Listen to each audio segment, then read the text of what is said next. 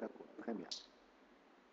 Alors, toujours en relation avec le commande de base, on peut voir par exemple ici, euh, la commande date معروفة date كتعطيني la date actuelle ديال السيستم في لينكس كنسميوها system stamp donc system stamp c'est la date du système d'accord alors عندي la commande cal cal كتعطيني calendrier d'accord on est au niveau de Thursday le 13 d'accord Andy, une autre commande YouTube, ici, c'est la commande CP.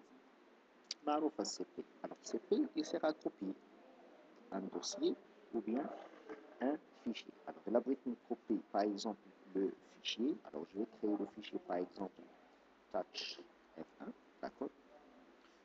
Je vais le copier vers, par exemple, slash. Voilà, donc il va me chercher vers slash Je liste le contenu. cas F1 est là, d'accord pour copier un fichier.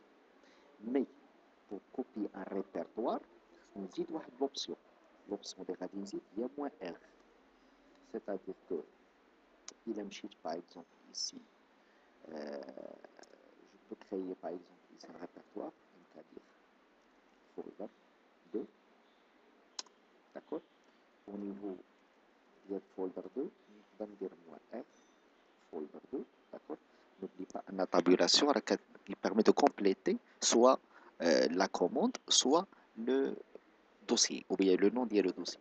Espace, maintenant je vais le copier vers slash home. Voilà, je vais copier vers slash home. Donc je vais le vers slash home. Automatiquement je liste avec un des folder 1. Donc c'est P, qui l'option moins R. D'accord l'option moins R. D'accord Alors il a dit la commande ls. On a déjà un fichier nommé mv.